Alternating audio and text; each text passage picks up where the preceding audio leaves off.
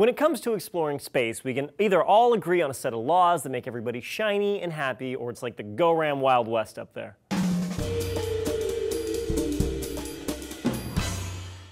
Ni hao, browncoats. Julian here for DNews.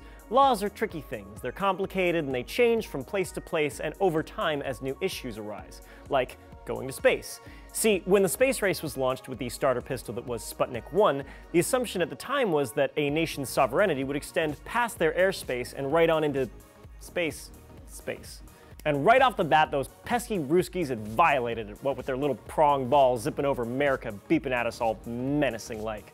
But no one made a fuss over it the way they would if a Russian spy plane flew overhead unannounced because in order for a satellite to stay in low Earth orbit, it has to travel almost 28,000 kilometers an hour.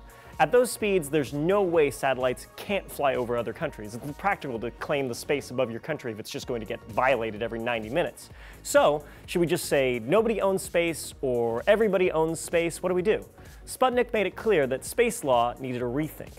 Ten years later, the 1967 Treaty of the Principles Governing the Activities of States in the Exploration and Use of Outer Space, including the Moon and Other Celestial Bodies, aka the Outer Space Treaty, laid the ground rules for space etiquette. Anyone who violated it has to answer to the United Nations. 104 countries have since ratified the treaty, and it has a number of guidelines that basically say space and celestial bodies are for everyone, except if you have a weapon of mass destruction, that's a no-no.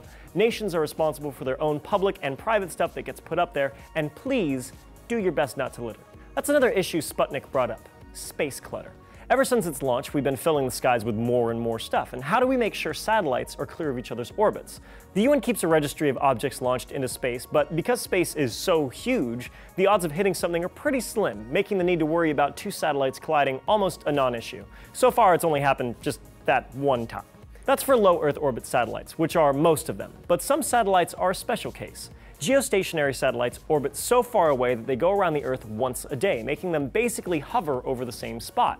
Because these satellites have to be at a very specific distance and over the equator, there are a limited number of spots for them to occupy. Another UN agency, the International Telecommunication Union, coordinates 191 countries and 700 private organizations to make sure everyone's satellites aren't bumping into each other and that no one's frequencies are interfering.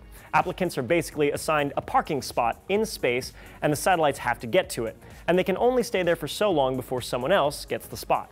So, long story short, branches of the UN are in charge of making sure everyone plays nice in space, and countries make their own rules for space travel within that framework. But more challenges loom on the horizon. It's still unclear what we're supposed to do about space debris and who's responsible for damage that wasn't caused by negligence. We're also going to have to figure out how to handle commercial human spaceflight or shipping. Hopefully it gets figured out before we live in a Joss Whedon universe of smugglers and eccentric characters with quippy di- You know what? I'm just going to cancel that thought before it's even finished. All this space stuff may seem far away and irrelevant, but it does have an effect in your daily life. To learn what NASA has done for you, check out Trace's video here. Since 1976, they published an issue of what they call Spin-Off every year, cataloging nearly 1,800 projects. The projects are commercial ventures using tech either wholly developed by NASA, created in partnership or by contract with NASA, or using NASA patents, experience, technology, research, personnel, data, etc. So, now that you know space law is a thing, will you be the next Phoenix Wright space attorney, or are you more the lawless space pirate type? Let us know in the comments, subscribe for more, and I will see you next time on DNews.